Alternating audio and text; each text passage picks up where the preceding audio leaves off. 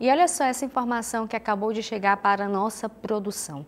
Mais um acidente grave foi registrado no final da tarde de hoje, no quilômetro 87, no município de Francisco Santos. O acidente envolveu um caminhão-baú e um carro modelo Fiat Uno e deixou pelo menos uma pessoa morta.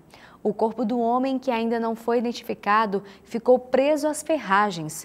Populares que moram nas proximidades já acionaram a polícia para a adoção dos procedimentos cabíveis. Esse é o segundo acidente grave que ocorre no mesmo dia aqui na região de Picos, na, cidade, na região de Picos, nas proximidades de Picos, no mesmo dia e infelizmente os dois acidentes com vítimas fatais.